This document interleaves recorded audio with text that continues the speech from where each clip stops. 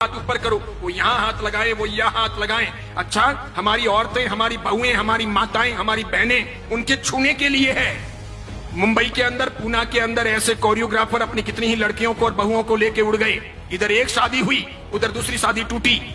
वो कोरियोग्राफी करने के लिए रोज उस शादी के फ़ंक्शन के लिए आता था। महीने भर तक उन्होंने घर की महिलाओं और बहुओं को सब सिखाया। उसी के अंदर एक बहू के साथ प्यार हो गया। इधर शादी निपटी सेकेंड डे सवेरे वो इस बहू को लेकर रफू चक्कर हो गया, शादी कर ली उसने। समझ रहे हो आप? ये चीज़ें होगी। साड़ियाँ भी खुद पहननी सीखनी चाहिए। कोई फ़ैशन डिज़ाइनर हमें साड़ी पहनाने आए और वो मर्द हो अच्छा वो यहाँ तक हमें छुए। और उसके साथ में हमारे घर का भाई हस्तमिलाप करेगा। सारा दिमाग खराब हुआ है क्या? क्या ज़रूरत है ऐसी? दादियों से पूछो, उनको किसी ने छुआ था क्या? मम्मियों से पूछो, किसी को छुआ था क्या? छूने दिया था क्या? अच्छी बहनों को कोलापुरी पहन के रखना चाहिए।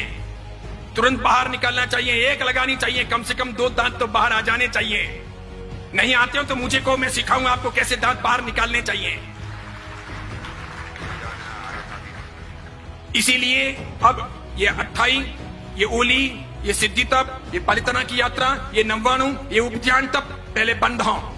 वो वो करें जिनको ये सब ना करना हो, जिनको डांडिया खेलना हो, जिनको कोरियोग्राफर को यहाँ सब हाथ लगवाने हो, इस प्रकार के नाच करने हो। अभी मैंने कुछ वीडियो देखे हैं, जिसमें पैंसठ साल, सत्तर साल के दादा और दादी डांस कर रहे हैं सत्तर साल के, फिर पैंतालीस साल के पप्पा और मम्मी वो भी डांस कर रहे हैं। किसके लिए? बिटिया की शादी है उसके लिए। शोभा देता है। पैंसठ साल, सत्तर साल के दादा और दादी डांस करें अच्छा लगता है। अब टांगे तो कब्र में लटकी है और डांस करना है। कोई मर्यादा है या नहीं? अच्छा डांस नहीं करने से शादी अच्छी नहीं होगी क्या? एक वीडियो नहीं बनेगा तो काम नहीं चलेगा क्या? क्या गंदी फ़िल्मों की धुनों पर दादा दादी को नचाना ही ज़रूरी है? कई सारे समाजों ने प्री वेडिंग शूट भी बंद कर दिए।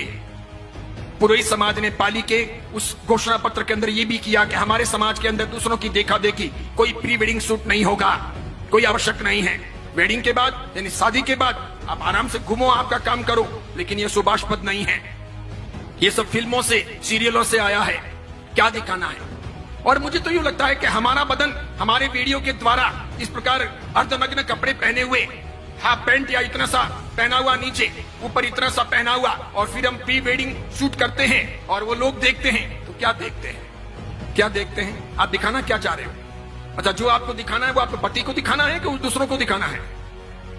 ये पति के लिए है कि दूसरों के लिए है? यानी आप एक सदाचारी माँ बनना चाहती हो कि वेश्या रहना चाहती हो? करना क्या है? जाना कहाँ है? एम क्या है? उसी प्रकार पूछना चाहता हूँ, जीतों की स्थापना हुई तो